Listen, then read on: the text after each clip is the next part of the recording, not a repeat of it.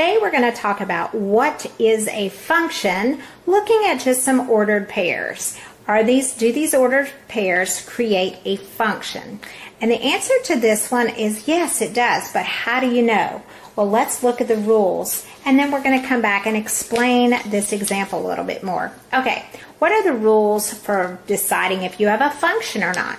Well, first, you have to know that each x or input has only one unique y output.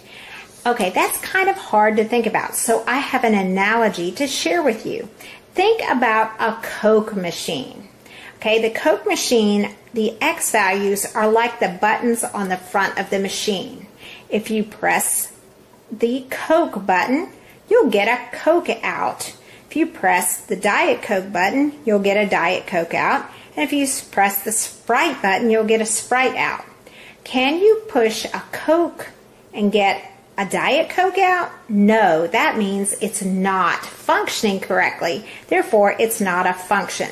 So, a Coke button cannot produce a different output other than Coke. Okay, so now let's go back and look at it with ordered pairs. Okay, we have the ordered pair or the x value of 1 and we get out a 2.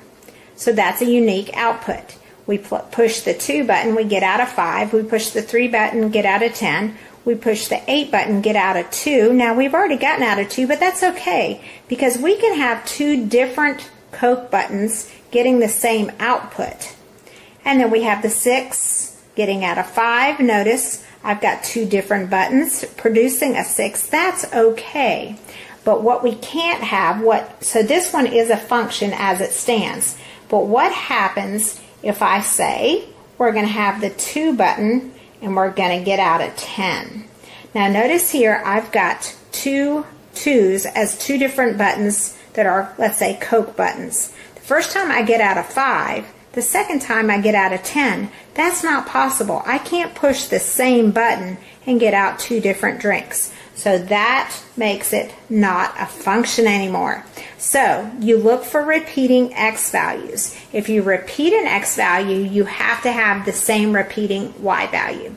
And that's how you can decide if you have a function or not given ordered pairs.